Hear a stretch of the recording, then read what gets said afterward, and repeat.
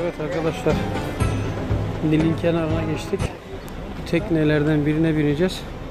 Böyle de çok temiz bir Nil değilmiş herhalde. Bura baya bir kirli. Nil'i baya bir kirletiyorlar. Bu teknelerden birine bineceğiz birazdan. Ondan sonra Nil'i gezeceğiz.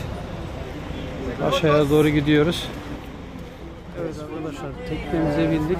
Birazdan Nil'in üzerinden karşı tarafa geçeceğiz. Öğle yemeğini de orada yiyeceğiz. Ee, bayağı bir sıcak. Şu an 40 derece.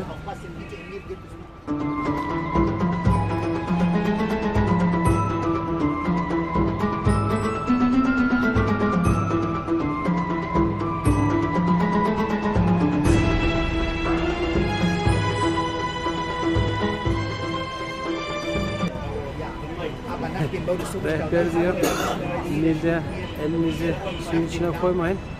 Ee, timsahlar var, sizi götürmesin. Ondan dolayı dikkat etmemiz lazım. Ee, elimizi Nil'den uzak tutacağız. Yoksa kimseyi tedavi edemeyiz ondan sonra. Aha, gürültü geldi bundan sonrası artık ee, şeysiz, konuşmasız olacak.